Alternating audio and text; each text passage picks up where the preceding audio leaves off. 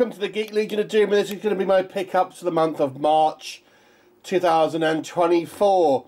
And uh, the first thing is a little bit of hardware. Uh, this here. Now, in fairness, I actually got this in uh, February, but I forgot to kind of put it in the in the uh, update, and I, as you can see, I haven't even opened it yet. So yeah, I've got a new TV, 50-inch uh, um, LG uh, 4K TV. So I've only had a standard TV before. I still haven't got a 4K player, but at least now I have a 4K TV. But I still haven't got out of the box, so it might take me a bit of time to get that, that, that set up. Anyway, let's have a look at the media. Right, so let's have a look at the actual kind of Blu-rays and DVDs that I got uh, this month. Uh, firstly, now, there's a movie that I've quite liked for a while, a shark movie called uh, Spring Break Shark Attack, but it's difficult to find on physical media. Uh, and I actually found out it was released just as called Shark Attack, so I bought what I thought it was, uh, but this isn't it. This is an, actually a movie called Shark Frenzy, another shark film which I have reviewed, that was released as Shark Attack. And there was actually a Casper Van Dien movie as well, also called Shark Attack. This is not that either. So, Shark Frenzy, aka Shark Attack, I now have on DVD. But I did manage to pick up uh, the correct movies. This is also called Shark Attack, but originally this was called Spring Break Shark Attack. Now, uh, I reviewed this a, a, while ago, and I got to say I quite like this movie. This is actually a surprisingly decent uh, shark movie uh, that I kind of wanted to pick up on uh, on physical media, but I didn't know until recently it had it was released just under this title in the UK. So there you go. Uh, next up, I picked up the Evil Inside, uh, which is also known as the Dead Inside. Now, I got this because the director, uh, Perry Reginald Teo, um, passed away uh, last year, and I've kind of wanted to kind of watch the rest of his films. I've quite enjoyed his a lot of his stuff, and uh, this is one of the movies I hadn't seen, so I wanted to pick it up. Sadly, it wasn't very good. There is a review of this one on the channel at this point, or it will be soon if not not already up there. But yeah, a little bit disappointing this one, I have to say.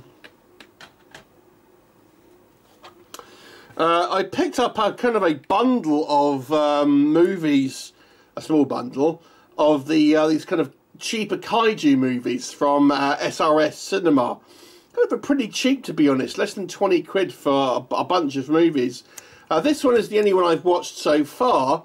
Uh, Raiga, the God of Monsters. Uh, this is what it's known as here, but it was actually um, originally released as Raiga, um, the Sea Monster from the Deep, I think it is, or Deep Sea. Uh, it wasn't very good, to be honest with you. Yeah, effectively a Godzilla clone. Uh, along that bundle, I also got Reigo, uh, which I haven't actually watched yet. This is actually uh, this one is set in the same universe as uh, Raiga, but it's actually set before this one's set in I think the World War Two, um, and it's kind of like a giant sort of like lizard, Liopleurodon kind of like style monster uh, that kind of fights like a Japanese warship. Uh, so moving on to some Blu-rays. Uh, first up we have uh, Metal Storm, The Destruction of Jared-Syn. Um, and this is kind of one of these kind of sillier sort of Mad Max kind of style uh, sort of science fiction movies. Um, it, I have got to review this one, so I had some on VHS, and it's kind of fun. Uh, it's not one of the kind of the more classic ones. Similar to Space Hunter, if you've kind of seen this, it has a sort of western sort of feel to it. Uh, but it's, it's, it's pretty good. You've got some kind of fun bad guys in it, and you've got the same guy who's playing the kind of the protagonist here. This was in Rage War or Dungeon Master, and uh, I quite liked him in that. So uh, again, I've got this is from the SRS pack. I've got a couple of Blu-rays from it. God Raiga versus, uh, versus King Ohga. Um, again, I haven't watched this one. I've only watched the one so far. It's a continuation, obviously. This is the more recent version of this um, one, so I would expect this to be a little better in regards to kind of VFX. I think that kind of this was made 10 years or so after Raiga. Um, and we'll check it. I'll check it out at some at some point in the future and pop a review up. Uh, next up, we have Bunker of the Dead, and this is a movie that I had reviewed uh, quite a while ago now, and um, it's kind of like a found footage movie um, about this kind of guy that goes into this kind of like Nazi bunker, and there's all these uh, Nazi zombies. It's more kind of POV, strictly speaking, than uh, than found footage, but it's it's quite actually quite a fun movie. Um, if you like kind of high octane kind of um, action horror in this in the kind of the realm of kind of like hardcore and things like that, but with Nazi zombies, you could do a lot worse with this one. There is a review of this one that I did some time ago. Uh, Nezura. Um, again, this is one of these kind of kaiju movies that I've picked up uh, in that kind of bundle of uh, of uh, kind of films. There's one still left to go after this as well. And again, I haven't haven't had a chance to watch this one yet. Uh, I'm not sure this one is actually set in the same universe. I think this might be a completely separate one. Uh, but yeah, so it looks like a kind of old school style kind of um, Godzilla movie, obviously 1964. So there you go. Uh, next up we have Underground. And this is a movie that I have reviewed on the channel, and it's kind of like uh, The Descent. Similar in the, in the movie to The Descent, um, with these kind of sub subterranean creatures, very much looking like the creatures from The Descent, and a group of kind of party goers that kind of get trapped in this underground base. It's actually pretty good, um, to be fair. It's, it's, it's surprisingly, um, you know, quite a visceral movie not as good as The Descent, but to be fair, it's probably as good as the, the Descent 2. Uh, next up we have Camel Spiders, which is a Roger Corman uh, low budget uh, kind of killer spider movie directed by uh, Jim Wynorski. Um, which I think this was a sci-fi movie, uh, TV movie originally. Um, it's not very good, starring Brian Krause, uh, but yeah, it's um, not particularly strong. It has to be has to be said. Uh, and then the last of my kind of kaiju SRS cinema bundle was the Great Buddha Arrival, and this one looks interesting because uh, the kaiju in this one is a huge Buddha statue sort of thing. So that one sounds pretty interesting, a little bit kind of different to your you know, garden variety kaiju, and you know, I'm, I'm curious. This is probably the next one I'll watch actually. Um, I'm curious to see how they're going to deal with this because I would imagine the reception would be somewhat different with that sort of style of uh, a kind of kaiju there. So that'd be fun to watch. Uh, next up, we got Avengement, uh, which is a Scott Adkins movie, and this is a metal pack for it. Um, Avengement was one of the kind of the, the better Scott Adkins movies that I have watched in recent years. Certainly where he has been the, the main character. And um, I happened to see this. Um, uh, it's limited to a thousand uh, copies. And, you know, I thought I'd pick it up because I do... I did actually want to get this movie. I was going to get a media book for it, but uh, I saw this and I thought, oh, you know what, I'll, get, I'll pick that up. Um, but yeah, it's I personally, for one, Scott Adkins one of, one of his best movies. So uh, I, I, I do have a few Marvel things uh, this month. Obviously, the Marvel Cinematic Universe is going through a bit of a rough patch at the moment. Um, I have to say a thank you to Alan Scouser for this one because uh, I got this from Amazon and I actually won a £50 gift card from his uh, his channel and uh, I used it to pre-order this. And it's taken ages to come and it, they lost it in the post originally so I had to reorder it.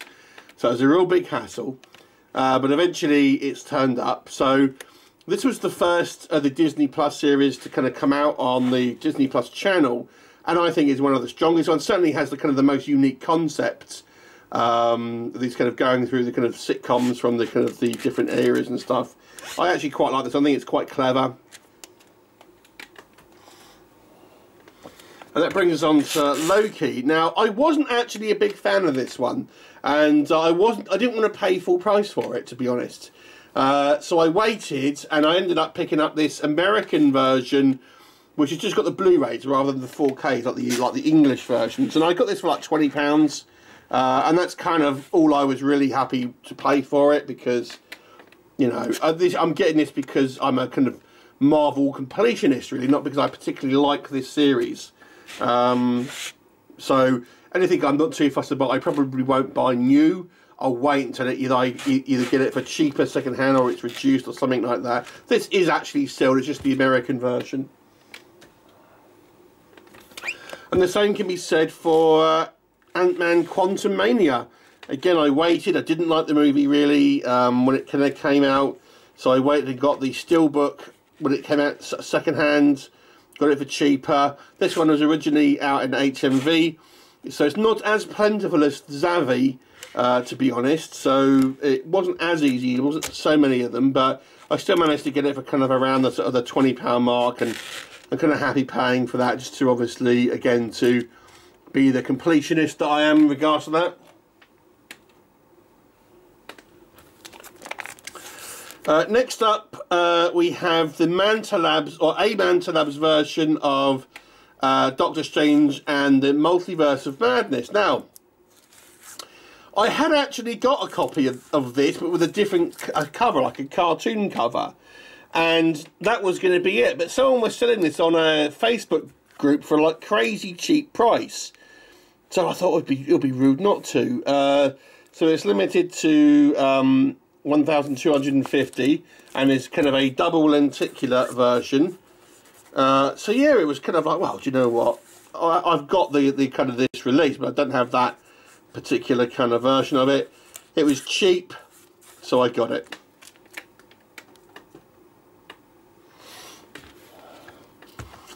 Uh, next up, uh, we have another Marvel one. This is the Wolverine from Black Barons. Now, this Black Barons is a kind of a spin-off of Film Arena, and these go for quite a lot of money. But to be honest with you, I didn't want to pay that much for, for it because even though it's it looks quite nice, the actual steelbook itself is just a standard steelbook with a nice slipcase.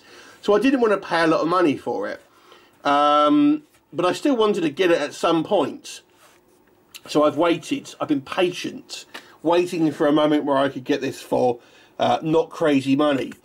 And it's limited to uh, 400. And finally, I found one, um, I think it was from like Sweden or somewhere, uh, and this person was selling it for a pretty good price. Uh, so I finally pulled the trigger on it. So I think this is the only Black Barons Marvel one you can get, and I'm kind of glad I've uh, got this off the kind of the, the list now. The other Film Arena ones that are from the X Men, I just won't pay a lot of money for them because Again, they just use the same steelbook, which was the standard release. It's not like you're getting uh, a kind of a different artwork on this steelbook, so I will wait until I see them for cheap, and they'll come up eventually. Speaking of cheap, however, I got this um, black label version of Tenebrae, and the, I nearly got uh, uh, Phenomena as well, uh, but I missed out on that one. But I did get Tenebrae, and uh, this is the black label uh, their first one know, so mine's uh, um, numbered 73 and there's a kind of a you know premium release with a kind of a slipcase and stuff. Um, so yeah Dario Argento movie one of his kind of classics kind of a giallo one uh, I like the kind of design here this kind of like somewhat kind of artistic uh, design and it's, it's open but they've got the kind of the uh, the little label and everything. So again, it was relatively cheap, so uh, it was silly not to. So that is the collection update for um, March. There is actually a couple on order still, but I suspect they won't be here until April because of the Easter bank holiday. So I filmed this kind of on the 22nd, but I don't think I'll actually receive anything else until April now. Anyway, that was my uh, collection update. So a relatively big collection update for me uh, for a change, uh, for at least for a month. Um, anyway, what did you think? Any kind of those releases tickle your fancy? Please do let me know and I'll look forward to seeing you next time.